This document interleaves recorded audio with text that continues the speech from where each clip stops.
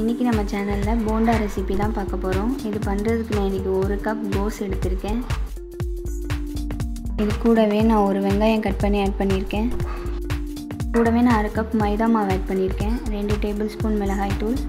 கொஞ்சமாக உப்பு ஆட் பண்ணியிருக்கேன். ரெண்டு டேபிள் ஸ்பூன் இஞ்சி பூண்டு பேஸ்ட் ஆட் பண்ணியிருக்கேன். ரெண்டு டேபிள் ஸ்பூன் கார்ன்ஃப்ளவர் ஆட் பண்ணியிருக்கேன். கொஞ்சமாக மஞ்சள் தூள் சேர்த்து இதை நல்லா மிக்ஸ் பண்ணி எடுத்துக்க போகிறேன் இதில் ரொம்ப லைட்டாக தண்ணி ஆட் பண்ணி இந்த மாதிரி நல்லா மிக்ஸ் பண்ணி எடுத்துக்கணும்.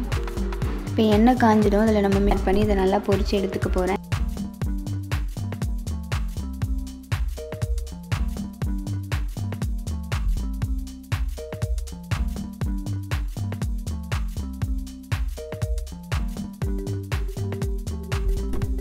அவ்வளோதான் நம்ம போண்டா ரெடி ஆகிடுச்சு நீங்களும் இந்த ரெசிபியை வீட்டில் ட்ரை பண்ணி பார்த்துட்டு எப்படி இருக்குன்னு கமெண்ட்டில் சொல்லுங்கள் தேங்க்யூ ஸோ மச்